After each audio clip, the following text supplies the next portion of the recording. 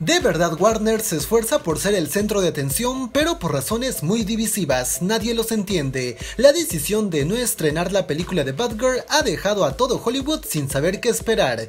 Este jueves Warner Bros. Discovery tendrá su informe de ingresos y egresos de su último trimestre y se esperan noticias bomba. Sin embargo, una ya se filtró hoy, un titular que deja mucha confusión en los inversores, la industria y el fandom, y lo peor, deja humillados a todo el talento involucrado en el proyecto Aniquilado, lo que sería el estrellato de Leslie Grace, el regreso del Batman de Michael Keaton ahora como mentor, el nuevo desafío para los directores de Bad Boys for Life y todas las decenas de artistas nunca verá la luz. No se estrenará ni en HBO Max ni en cines, quedará por siempre en los archivos de Warner Discovery a pesar de prácticamente haber terminado su postproducción. ¿Por qué la compañía haría algo así sabiendo que perderán más de 90 millones? Los medios explican que la nueva directiva de la compañía, liderada por David Zaslav, decidió retractar la estrategia de estrenar películas en HBO Max tomada por la antigua directiva, y que los proyectos bajo esa categoría serían evaluados para ver si pasaban a ser estrenos de cine o ser archivados para siempre. Además de Batgirl, una película animada de Scooby-Doo también tuvo el mismo destino.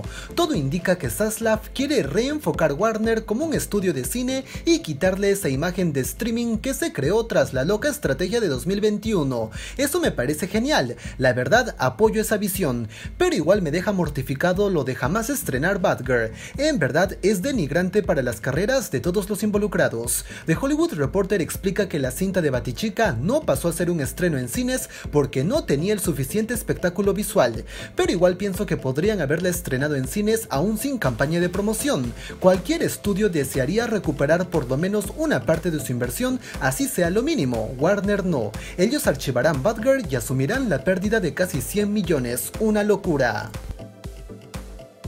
Otra noticia bomba que se estaría adelantando es la desaparición de HBO Max, o más concretamente su absorción por parte de Discovery Plus. Así es amigos cinéfilos, el servicio por el que Warner sacrificó tanto en 2020 y 2021 terminará como un agregado de la plataforma principal de David Zaslav.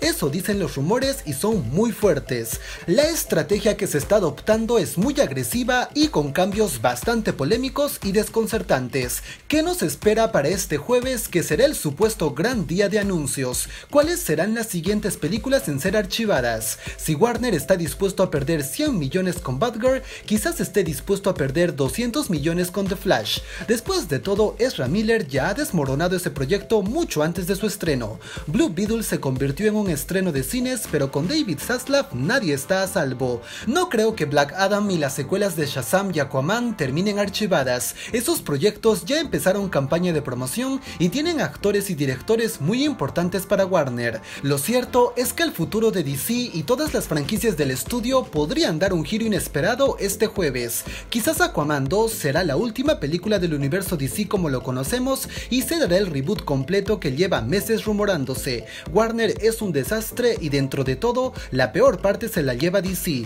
Esperemos tiempos buenos lleguen para la marca y nosotros los fans. ¿Qué opinan ustedes amigos cinéfilos? ¿Les apena lo de Bad ¿Creen que más películas serán archivadas? ¿Qué harían con The Flash si ustedes fueran David Zaslav? ¿Y qué noticias esperan para este jueves?